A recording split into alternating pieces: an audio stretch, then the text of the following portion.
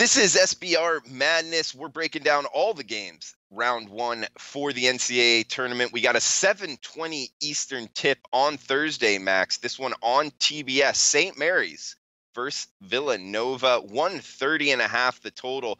Villanova laying five and a half to a St. Mary's team they're on a roll right now. But uh, you know, some would have thought if they didn't win the tournament, they wouldn't be. They didn't win their conference tournament. They wouldn't be in this tournament. Do you think it's enough to stay within uh, five and a half here of Villanova?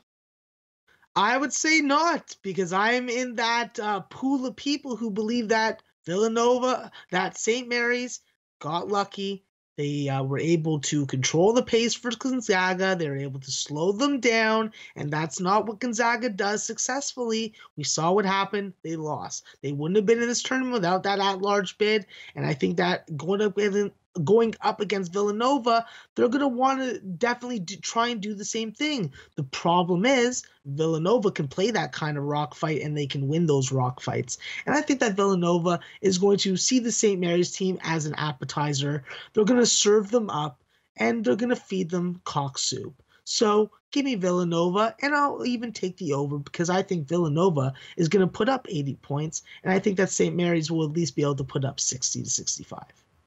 All right, liking the favorite with the short number and the over. So two bets here on this one. He's Maxwell Smart 420 on Twitter. I'm Drew Martin Bets on Twitter. Guys, make sure to te- check out SBR odds page for the most up to date totals and sides going into round one of the tournament. Thanks for tuning in. We'll have many more videos to come.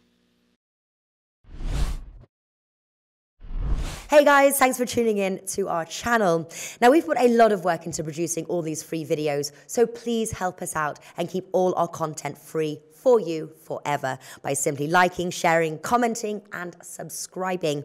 Now, not to mention, a visit to our industry leading website will warm the hearts of all our SBR employees, especially myself. Now, the links are over there to the left, uh, so do check those out. Thanks for watching.